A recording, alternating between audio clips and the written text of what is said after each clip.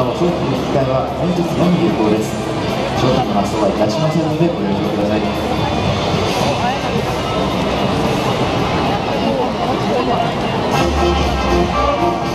本日の少年少女観戦送迎バスツアーをご紹介します。本日のスポンサーは平星銀行三高千。東京ガスラビットウェディングジャパン。西野薬局そして今回の参加チームは板橋 FC 北前杉並区昭安小サッカークラブ高井戸フットボールクラブ杉並区西田 FC 墨田区成平シークラブ世田谷区共済チャレンジャーズ。以上の皆さんです。それでは皆さんこの後応援よろしくお願いいたします。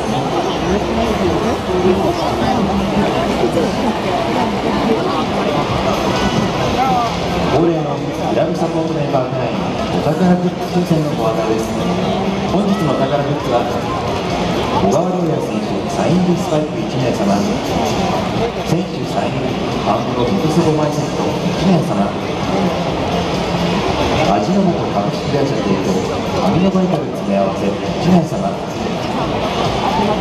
西川株式会社提供レアポータブル通知のメッセ1名様 FC 東京オフィシャルグッズ東京ドロッパー選択ネットドアストッパー1名様お申し込みは今シーズンより記入方式から非公商品のワンタッチへタッチ方式に変更となりましたクラブサポートメンバー4回受付を結んで応募締め切りはハーフタイム終了までです。当選は商品の発送をもって返させていただきます次回本年のお知らせです。7月7日2019明治安田生命 J1 リーグ第18節。対ガンバ大阪さんは味の素スタジアムにて午後7時キックオフです。当日はピアゲを開催いたします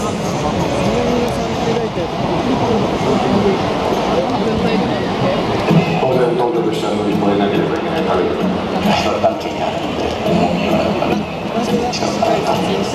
とになるかな東京都クラシコっていうのを見られてその第1回からもうだってチャレンジャーなんで下向きにがむしゃらにやるしかないのかなって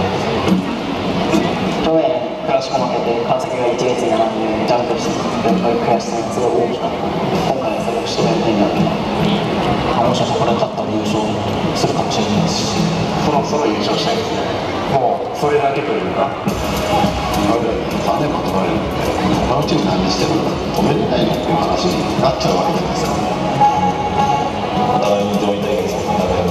過去にないぐらいの絶対高いんだなと思うその我慢比べに勝てるかどうか。